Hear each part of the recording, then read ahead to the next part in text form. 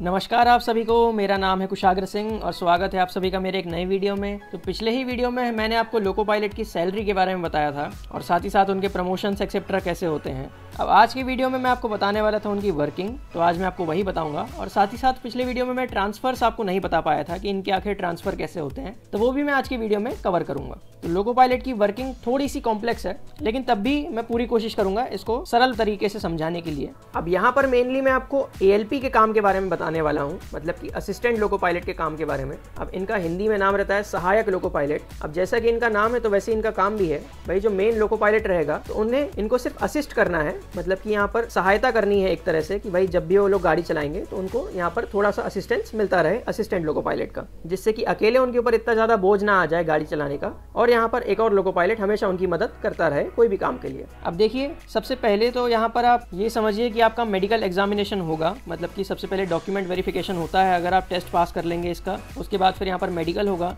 Medical जैसे ही आप पास कर जाएँगे तो उसके बाद यहाँ पर आपको वहाँ के पर्सनल विभाग में ज्वाइन करना पड़ेगा। अब पर्सनल विभाग का मतलब क्या है? तो देखिए, जिस भी डिवीज़न में आपका मेडिकल होगा तो वहीं का जो डीआरएम ऑफ़िस है, वहाँ पर आपको जाना पड़ेगा। वही आपका पर्सनल विभाग है। तो वहाँ पर जाके आपको ज्वाइन करना पड़ेगा। फिर वहाँ से आपको ट्रेनिंग के लिए भेजा जाएगा, जो भी वहाँ का जेडआरटीआई है। अब जेड आर टी आई क्या है भाई? तो इसका मतलब होता है जोनल रेलवे ट्रेनिंग इंस्टीट्यूट अब भाई, पहले इसको जेड टी सी भी कहा जाता था मतलब कि जोनल ट्रेनिंग सेंटर लेकिन अब इसका नाम जो है, वो जेड आर टी आई कर दिया गया है। अब वहाँ पर आपको ट्रेनिंग दी जाएगी। अब अगर बैच खाली रहा तो तुरंत ही आपको वहाँ पर भेज दिया जाएगा। नहीं तो फिर अगर खाली नहीं रहा तो कुछ दिनों बाद जैसे ही नेक्स्ट बैच वहाँ पर पढ़ाया जाएगा तो उसमें वहाँ पर आपको ट्रेनिंग के लिए भेजा जाएगा। तो देखिए, यहाँ पर आपकी चार से साढ़े चार महीने तक की ट्रेनिंग होगी। अब ये भी डिपेंड करता है, अगर आपको सिर्फ़ इलेक्ट्रिक लोकोमोटिव का कोर्स कराया जाएगा तो फिर यहाँ पर थोड़ा कम टाइम लगता है, लेकिन अगर आपकी डिवीज़न में डीजल इंजन भी चलते हैं तो आपको वहाँ पर डीजल इंजन की भी ट्रेनिंग दी जाएगी। तो अब इलेक्ट्रिक लोकोमोटिव और डीजल लोकोमोटिव इन दोनों की अलग अलग ट्रेनिंग होती है वैसे तो। तो वहीं पर पहले आपको इलेक्ट्रिक पढ़ाया जाएगा, फिर डीजल पढ़ाया जाएगा। तो इसमें जो कोर्स है, वो लगभग साढ़े चार महीने का हो जाता है, वरना ऐसे नॉर्मल इलेक्ट्रिक के लिए तीन महीने में ही यहाँ पर कोर्स कंप्लीट हो जाता है। अब यहाँ पर लोकोमोटिव के साथ साथ आपको ट्रैफ़िक की भी ट्रेनिंग दी जाएगी।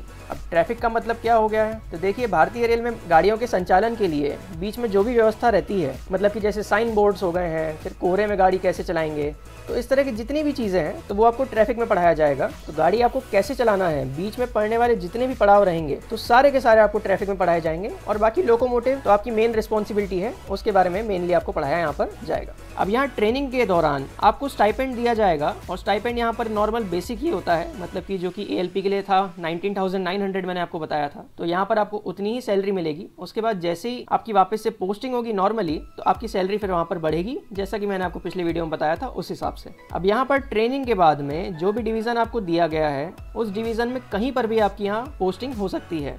अब हर डिवीज़न में कई सारे डिपो होते हैं। डिपो का मतलब ये हो गया है कि भाई एक ही जगह पर यहाँ डिवीज़न में काम नहीं चलता है। अब जैसे कि मैं आपको एग्ज़ाम्पल के ज़रिए समझाऊँ तो देखिए, नागपुर डिवीज़न में सबसे पहला डिपो तो नागपुर में है कि मतलब यहाँ पर कई सारे लोको पायलट्स हैं। इसके बाद फिर नागपुर के अलावा आमला में, वर्धा में, बलारशाह में घुग्गुस में, इसके अलावा माजरी में तो ऐसे कई सारे यहाँ पर डिपो हैं जहाँ पर कि यहाँ स्टाफ रहता है और जैसा यहाँ पर वर्किंग डिसाइड होगी तो उसी हिसाब से उनको वहाँ पर गाड़ियाँ चलाना पड़ता है। मतलब कि आप ये समझ गए हैं कि हर डिवीज़न में भी कई सारे डिपो होते हैं और उनमें से अब जहाँ पर भी वैकेंसी खाली होगी तो वहाँ पर आपको यहाँ पोस्टिंग दी जाएगी सबसे पहले। अब ये जितने भी यहाँ पर डिपो होते हैं, इनको क्रू चेंजिंग पॉइंट भी कहा जाता है। अब भाई जो ट्रेन होती है तो उनमें लगातार लोको पायलट एक जगह से दूसरी जगह नहीं जाता है। मतलब कि जैसे मान लीजिए कोई गाड़ी चेन्नई से नई दिल्ली जा रही है तो कोई भी लोको पायलट इतना दूर नहीं जाते हैं। शिफ्ट के हिसाब से इनकी ड्यूटी रहा करती है। तो वैसे ही यहाँ पर थोड़े थोड़े दूरी पर लोको पायलट चेंज होते रहते हैं। तो वही यहाँ पर डिपो का काम है। और ये जितने भी क्रू चेंजिंग पॉइंट्स है मतलब की डिपो तो ये छोटी मोटी जगह पर नहीं बनाए जाते हैं। ये थोड़ी बड़ी जगह पर ही रहेंगे। अब जैसे कि स्टेशन मास्टर में आप देखते होंगे कि कोई भी छोटे स्टेशन पर उनकी पोस्टिंग दे दी जाती है। लेकिन लोको पायलट्स के केस में ऐसा नहीं है। इनकी क्रू चेंजिंग पॉइंट जहाँ पर भी रहेंगे, वो थोड़ी बड़ी जगह ही होती है नॉर्मली और वहीं पर इनकी पोस्टिंग दी जाती है। मतलब कि वहाँ पर आपको बेसिक फैसिलिटीज़ ऑलमोस्ट लगभग सारी की सारी मिलेगी। मतलब कि नॉर्मल वहाँ पर स्कूल कॉलेजेस होंगे हॉस्पिटल की वहाँ पर सर्विस होगी तो इस तरह की यहाँ पर नॉर्मल चीज़ें रहती हैं। इसके बाद फिर जैसी पोस्टिंग आपको मिल जाएगी तो उसके बाद आपको रेलवे एक सिम देगी। उसको हम सी सिम भी कहते हैं। अब इसी सिम से आपका पूरा का पूरा काम होगा। रेलवे से जितने भी आपको कॉल आएँगे ड्यूटी के लिए, इसी सिम पर आएँगे। इसमें आपका बात करना और इंटरनेट दोनों एकदम फ्री रहेगा। मतलब कि कॉलिंग और इंटरनेट दोनों हमेशा के लिए फ्री रहेगा इसमें। रेलवे ही पूरा पैसा भरेगी, आपको कुछ भी नहीं करना है। और उसके बाद, जैसे ही आपको सिम मिल जाएगी, फिर यहाँ पर आपको सेक्शन लर्निंग दी जाएगी। अब सेक्शन लर्निंग का मतलब ये हो गया है कि जो भी आपको सेक्शन में काम करना पड़ेगा तो उसमें आपको किसी भी गाड़ी पर किसी दूसरे लोको पायलट के साथ में जाना पड़ेगा और पूरी की पूरी वहाँ पर ट्रेनिंग लेनी पड़ेगी कि भाई ये सेक्शन में कैसे यहाँ पर सिग्नल्स पड़ते हैं कौन कौन से स्टेशन आते हैं कहाँ कहाँ पर परमानेंट रेस्ट्रिक्शन है स्पीड का कहाँ कहाँ पर कॉशन ऑर्डर है लेवल क्रॉसिंग कहाँ है। तो ये सारी की सारी चीज़ें आपको एक बार बताई जाएँगी। फिर जैसे कि यहाँ पर उतार चढ़ाव हो गए। तो इस तरह की सारी चीज़ें आपको यहाँ पर बताई जाएगी और लगभग आपको ये सब याद भी करना पड़ेगा एक टाइम पर। वैसे तो जैसे ही आप ड्यूटी जाएँगे तो अपने आप याद हो ही जाता है, लेकिन पहले पहले भी ज़रा सा आपको ध्यान यहाँ पर देना पड़ेगा। उसके बाद जैसे ही आपकी सेक्शन लर्निंग खत्म होती है, फिर यहाँ पर सबसे पहले एएलपी को मालगाड़ी में ड्यूटी लगाई जाएगी। मतलब कि सबसे पहले जो भी गुड्स ट्रेन होती है हमारी, उसमें ही आपको ड्यूटी दी जाएगी, जिसमें कि लोको पायलट आपके साथ कोई भी रह सकते हैं, यहाँ पर कोई फिक्स नहीं है। किसी भी लोको पायलट के साथ में आपको काम करना पड़ सकता है। कभी भी आपको ड्यूटी लगाई जाएगी और यहाँ पर जितना भी क्रू कंट्रोल करते हैं तो वो लॉबी से होता है। अब लॉबी का मतलब यहाँ पर यही हो गया है कि भाई वो सारी की सारी गाड़ियों में क्रू को असाइन करते हैं कि भाई कौन से लोको पायलट किस गाड़ी में जाएँगे। तो ये यहाँ पर लॉबी है। तो यहीं से आपको सबसे पहले कॉल आएगा कोई भी गाड़ी के दो घंटे पहले। मतलब कि जिसमें भी आपको ड्यूटी जाना है, उसके डिपार्चर टाइम से यहाँ पर आपको दो घंटे पहले कॉल आएगा कि भाई आपको यहाँ स्टेशन पर पहुँचना है। और गाड़ी के डिपार्चर के लगभग आधे घंटे पहले ही आपको लॉबी में रिपोर्ट करना पड़ेगा। जैसे ही आप जाके लॉबी में रिपोर्ट करेंगे। उसके बाद फिर वहाँ पर क्रू मैनेजमेंट सिस्टम या फिर सीएमएस की कई सारी मशीन्स लगी होती हैं। तो वहाँ पर आपको जाके साइन ऑन करना पड़ेगा। अब साइन ऑन का मतलब क्या है? साइन ऑन का मतलब यहाँ पर यह है कि आपने ड्यूटी के लिए यहाँ पर साइन कर दिया या फिर आप ड्यूटी के लिए उपलब्ध हो गए हैं। तो इसका मतलब हो गया है यहाँ पर साइन ऑन अब यहाँ पर सबसे मेनली तो आपको अपनी आईडी वगैरह डालनी पड़ेगी, जो भी आपको रेलवे प्रोवाइड करेगी।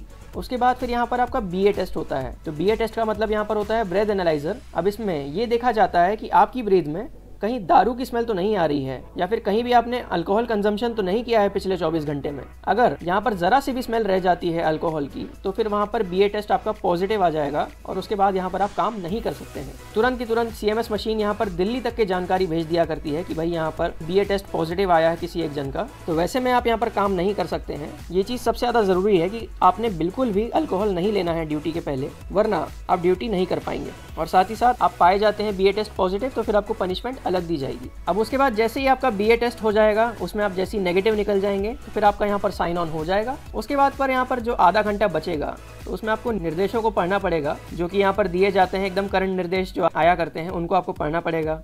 फिर उसके बाद यहाँ पर आपको क्वेश्चन ऑर्डर दिए जाएँगे। अब क्वेश्चन ऑर्डर का मतलब ये हो गया है कि तो उस पेपर में जिस भी सेक्शन में आपको काम करना है, उसकी जानकारी लिखी रहती है कि भाई कहाँ कहाँ स्पीड रेस्ट्रिक्शन है और क्या वजह है। तो वो आपको एक बार एनालाइज करना पड़ेगा, देखना पड़ेगा अच्छे से। और साथ ही साथ यहाँ पर आपको अपनी व्यवस्था करनी पड़ेगी, जैसे कि आपको पानी आनी भरना पड़ेगा और उस तरह की जो भी व्यवस्था है तो ये सब आपको आधे घंटे में करना है। और फिर जैसे ही यहाँ पर गाड़ी आने वाली होगी तो लॉबी में आपको बता दिया जाएगा कि आप उस पॉइंट तक पहुँचे जहाँ पर गाड़ी आ रही है और उसके इंजन की तरफ़ चले जाए। फिर वहीं इंजन के पास जाके गाड़ी के आने पर आपको सबसे पहले तो इंजन इंजन को बहुत अच्छे से चेक करना पड़ेगा मतलब कि टॉर्च से एक बार अच्छे से चेक करना पड़ेगा कि इंजन में कोई भी गड़बड़ी तो आखिर नहीं है, क्योंकि कुछ भी होगा तो आपकी रिस्पॉन्सिबिलिटी में आएगा। इसीलिए सबसे पहले यहाँ पर चेक करना पड़ता है कि इंजन एकदम बराबर है और उसके बाद ही फिर आपको यहाँ पर गाड़ी पे चढ़ना है। फिर उसमें मान लीजिए अगर आपको कोई कमी मिलती है तो आपको अपने लोको पायलट को बताना है और यहाँ से फिर आपका क्रू चेंज होगा। जो पहले क्रू था वो हट जाएगा, फिर आप लोग यहाँ पर आ जाएँगे और अब आपकी रिस्पॉन्सिबिलिटी है यहाँ पर गाड़ी चलाना, जिसमें कि लोको पायलट जो मेन वाले रहेंगे, उनका काम है गाड़ी चलाना और आप मतलब कि असिस्टेंट लोको पायलट जो यहाँ पर रहेंगे तो उनका ये काम रहेगा कि भाई सारे के सारे सिग्नल्स को अच्छे से कॉल आउट करना, जिससे कि लोको पायलट की नज़र भी वहाँ बने रहे सिग्नल्स पर। उसके बाद जब भी रुकना होगा, तब भी लोको पायलट को बार बार दोहराते रहना की गाड़ी को रोकना है। फिर बाजू से कोई भी गाड़ी अगर जा रही होगी तो उनसे सिग्नल एक्सचेंज करना। ट्रेन को स्टार्ट करने के पहले यहाँ पर गार्ड से बात करना की भाई गाड़ी चलने को तैयार है कि नहीं।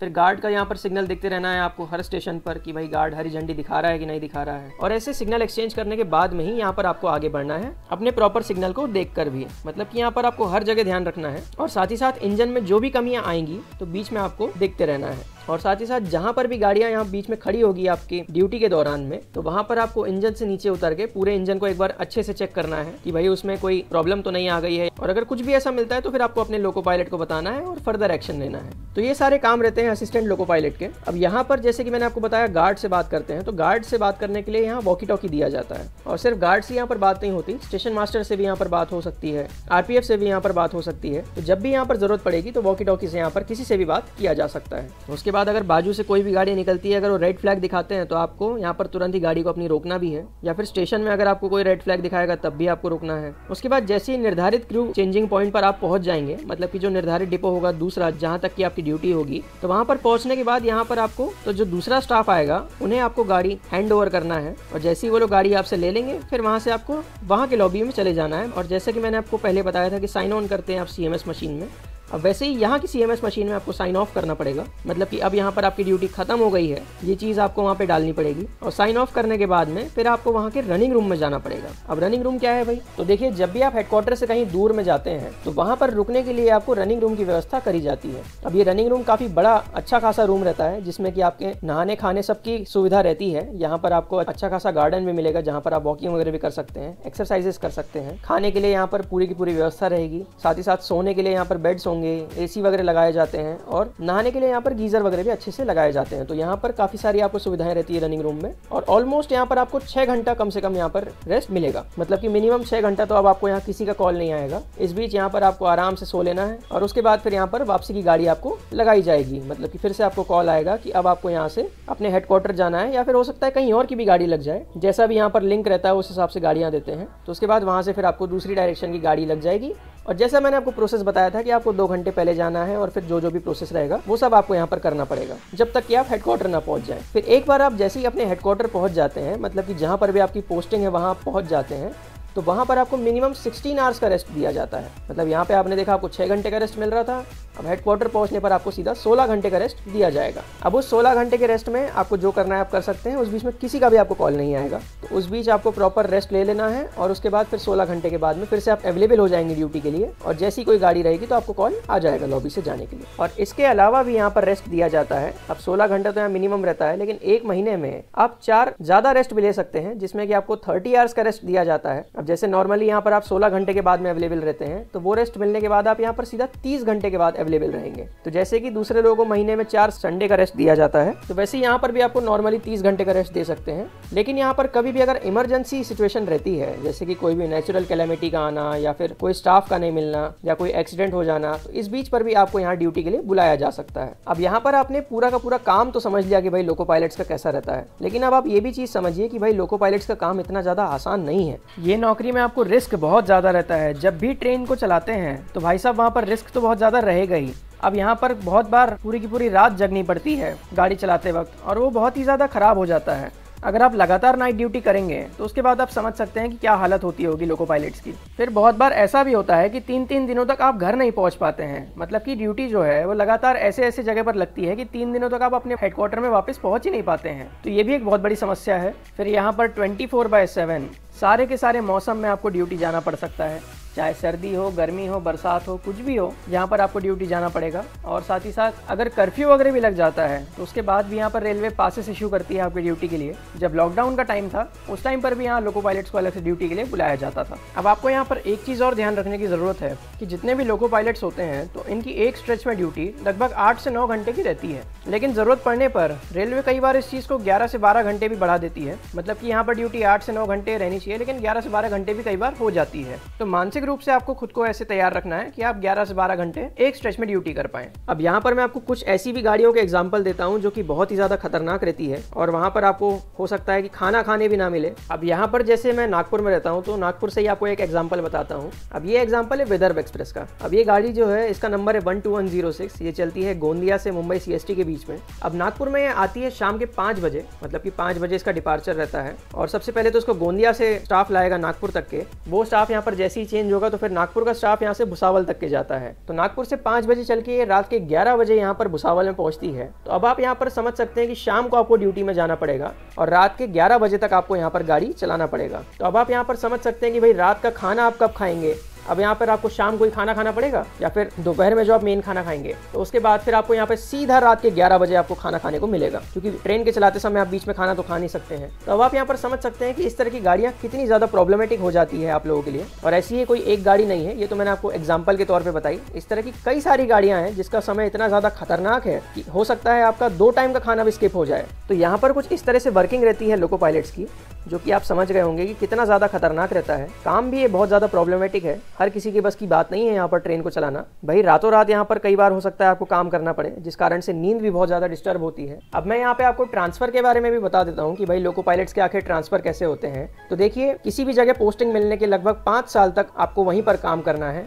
और पाँच साल के बाद आप ऑन डिमांड ट्रांसफ़र ले सकते हैं। मतलब कि यहाँ पर सबसे पहले आपको डिमांड लगानी पड़ेगी कि आपको कहीं के लिए भी ट्रांसफ़र चाहिए। उस जोन और उस डिवीज़न का आपको नाम देना पड़ेगा कि कहाँ पर आपको चाहिए ट्रांसफ़र और अगर वहाँ पर वैकेंसी रहती है, कोई सीट खाली रहती है तो फिर आपको वहाँ पर ट्रांसफ़र दिया जाएगा। लेकिन इसमें आपकी पूरी की पूरी सीनियरिटी चले जाएगी और वहाँ पर आप लोएस्ट सीनियरिटी से जाकर ज्वाइन करेंगे, जिसमें कि जो भी यहाँ का बैच होगा, उनमें सबसे नीचे में आपका नंबर चले जाएगा। लेकिन आपकी जो बेसिक रहेगा बेसिक पे, वो आपका उतना ही रहेगा, वो यहाँ पर कम नहीं होगा। तो ये यहाँ पर ऑन डिमांड ट्रांसफ़र की बात हो गई। उसके बाद मैं यहाँ पे आपको म्यूचुअल ट्रांसफ़र के बारे में भी बता देता हूँ। अब म्यूचुअल ट्रांसफ़र आप कभी भी ले सकते हैं और कोई भी पोस्ट पर ले सकते हैं और इसमें क्या रहता है कि भाई जो भी दूसरे डिवीज़न का आदमी कोई रहेगा तो उसमें आप म्यूचुअली तैयार हो जाएँगे कि भाई वो जो आदमी है वो आपके डिवीज़न में आ जाएगा और आप उनके डिवीज़न में चले जाएँगे। तो यहाँ पर किसी भी डिवीज़न को यहाँ कोई भी नौकरी का नुकसान नहीं होता है और ऐसे यहाँ पर म्यूचुअल ट्रांसफ़र हो सकता है। तो कुछ इस तरीके से यहाँ पर ट्रांसफ़र भी हो सकता है, जिसमें कि मैंने आपको बता दिया ऑन डिमांड आप पाँच साल के बाद ले सकते हैं मिनिमम काम के और जब तक आप एएलपी रहेंगे तभी तक ले सकते हैं। एक बार लोको पायलट बनने के बाद आपको ऑन डिमांड ट्रांसफ़र नहीं मिलेगा। और वहीं म्यूचुअल ट्रांसफ़र आप कभी भी ले सकते हैं, जब आपका मन करे और कोई भी पोस्ट पर भी आप ले सकते हैं। तो आई होप यहाँ पर आप समझ गए होंगे लोको पायलट के काम के बारे में, कि भाई यहाँ पर कैसे काम चलता है। मैंने आपको ए के भी काम समझा दिया और लोको पायलट्स के भी काम समझा दिया। तो अगर आपको कुछ भी डाउट हो तो आप कमेंट सेक्शन में पूछ सकते हैं। वीडियो अगर आपको पसंद आया होगा तो लाइक सब्सक्राइब शेयर ज़रूर से करें। मिलते हैं ऐसी किसी और वीडियो में ट्रेन की बहुत सारी जानकारियों के साथ। Thank you so much for watching this video धन्यवाद।